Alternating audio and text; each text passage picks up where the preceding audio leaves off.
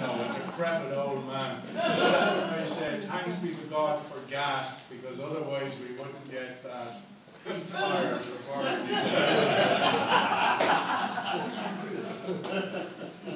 This year, I decided to do a trick to pull a Bible stunt and open my collected W.B. Yeats at random. And I came up with two lovely poems. Hadn't been right, I assure you I would have cheated. and done it several times again until I got what I wanted.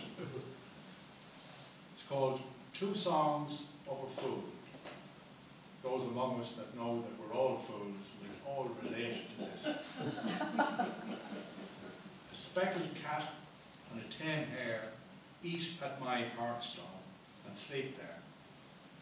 And both look up to me alone for learning and defence as I look up to Providence.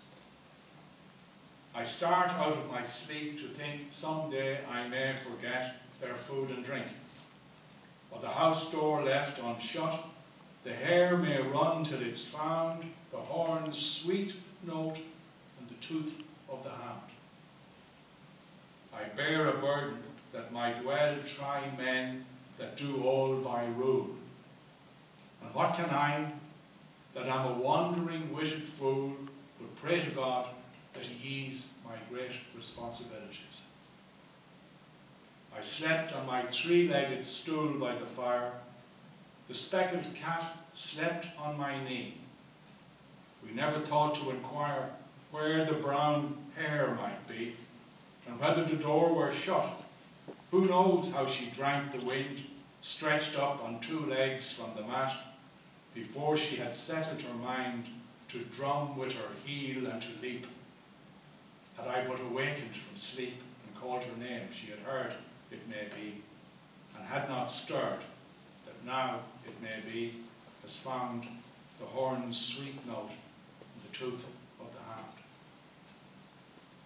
The second poem, closely related, is called Another Song. this great purple butterfly in the prison of my hands has a learning in his eye not a poor fool understands. Once he lived a schoolmaster with a stark, denying look. A string of scholars were in fear of his great birch and his great book. Like the clangour of a bell, sweet and harsh, harsh and sweet. That is how he learned so well to take the roses for his mate. And I would have no greater wish for all of us here this evening that in 2000.